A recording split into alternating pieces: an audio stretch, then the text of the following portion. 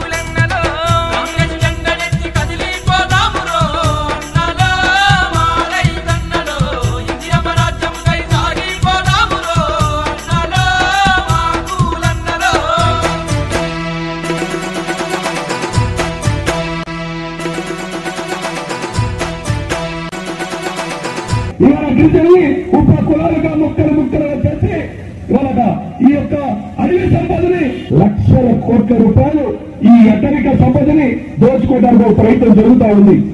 కానీ కాంగ్రెస్ పార్టీ ఉన్నంత కాలం కాంగ్రెస్ పార్టీ పోరాటం ఉన్నంత కాలం ఈ కాంగ్రెస్ కుటుంబం ఈ గిరిజన పక్షాన ఈ అడవి పంచాయతీ పక్షాన ఈ అడవి నమ్ముకున్నటువంటి గిరిజన జాతుల పక్షాన కాంగ్రెస్ పోరాటం చేస్తా ఉంటుంది.